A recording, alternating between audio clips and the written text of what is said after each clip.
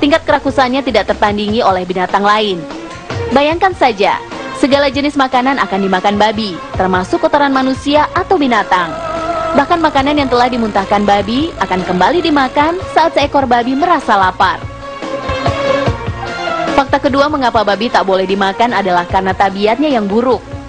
Babi adalah binatang pemalas, senang tinggal di tempat yang kotor dan menyukai matahari. Babi juga senang mengawini ibu kandungnya sendiri dan kadang juga mengawini babi dari sesama jenisnya. Gaya hidup babi yang buruk dikhawatirkan akan membuat manusia tertular sifat buruknya juga. Padahal babi adalah binatang dengan karakter yang menjijikan. Fakta ketiga mengapa babi sangat berbahaya untuk dimakan berasal dari sisi medis. Berdasarkan penelitian ilmiah, dalam tubuh babi terkandung sedikitnya 25 macam jenis bibit penyakit. Antraks, rabies, leptospirosis, bahkan influenza menjadi beberapa penyakit yang dapat ditularkan dari seekor babi. Bahkan jika segumpal daging babi disiramkan dengan air soda, maka dalam waktu yang tidak terlalu lama dari dalam daging tersebut akan muncul cacing-cacing dan belatung yang sangat berbahaya bagi tubuh. Berdasarkan hasil penelitian yang telah dipublikasikan pada tahun 1986 dalam konferensi tahunan sedunia tentang penyakit alat pencernaan, daging babi dinyatakan sebagai penyebab utama kanker anus dan kanker kolon atau kanker usus besar. Presentasi penderita penyakit ini sangat tinggi di negara-negara Eropa dan Amerika. Sementara di negara-negara Islam presentasenya sangat rendah sekali, hampir satu berbanding seribu kasus. Penelitian tentang babi memang baru banyak dilakukan beberapa dekade belakangan ini. Padahal Allah Subhanahu wa taala telah melarang umat Islam untuk mengkonsumsi segala macam makanan yang mengandung babi sejak berabad-abad lalu. Ini menjadi bukti betapa Allah Subhanahu wa taala sangat mencintai umatnya dan menjaga umatnya dari segala macam jenis penyakit dan mara bahaya. Fakta selanjutnya tentang babi yang mungkin belum Anda ketahui adalah bahwa dalam tubuh babi tidak hanya terkandung satu jenis cacing, tetapi tujuh jenis cacing yang berbahaya bagi tubuh. Beberapa di antaranya adalah cacing pita atau Tania salumi. Cacing pita adalah salah satu cacing yang berupa larva yang menggelembung dalam tubuh babi. Cacing pita ini melekat pada dinding usus dan menyerap unsur-unsur makanan yang ada di lambung.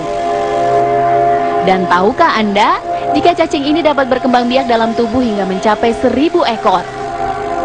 Keberadaan cacing pita dalam tubuh seseorang dapat menyebabkan seseorang kekurangan darah dan mengalami histeria.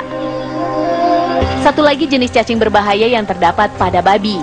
Cacing Cystosoma japonicus adalah salah satu jenis cacing paling berbahaya yang dapat menyebabkan kelumpuhan dan kematian jika menyerang bagian otak dan syaraf tulang belakang manusia.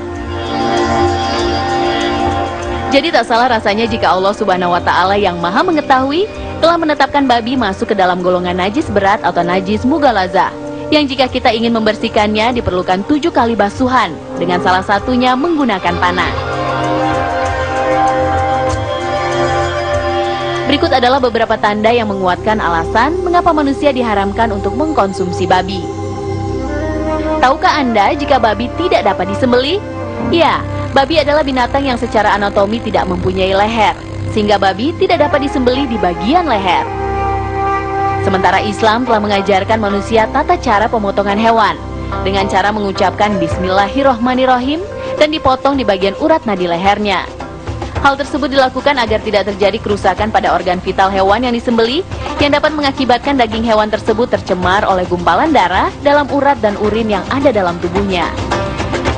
Dan tahukah Anda, jika babi juga menjadi carrier atau pembawa virus flu burung dan flu babi yang sangat mematikan bagi manusia?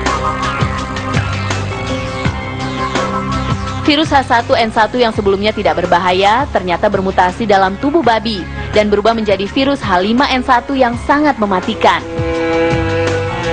Allah Subhanahu wa taala menetapkan aturan bagi manusia bukan tanpa alasan. Pengharaman daging babi bagi manusia dibuat agar manusia dapat terhindar dari berbagai macam penyakit yang terkandung dalam seekor babi. Bahkan Allah telah memberikan aturan yang jelas tentang pengharaman daging babi, tak hanya dalam Al-Quran, tetapi juga dalam kitab Taurat dan Injil. Nabi Isa alaihissalam misalnya, dalam hidupnya tidak pernah makan babi. Ini berbeda dengan kebiasaan sejumlah masyarakat yang mengaku menjadi pengikutnya, namun malah mengkonsumsi babi. Di akhir zaman saat turun kembali ke bumi, salah satu tugas Nabi Isa alaihissalam adalah membunuh babi. Semoga kita diselamatkan dari keburukan hewan yang diharamkan satu ini ya.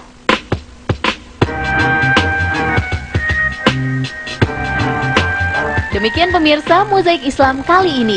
Semoga informasi-informasi yang kami sajikan kali ini akan membuka lebih lebar wawasan keislaman kita sehingga kita makin yakin dengan kebenaran Islam dan makin bertambah keimanan kita kepada Allah Subhanahu wa taala.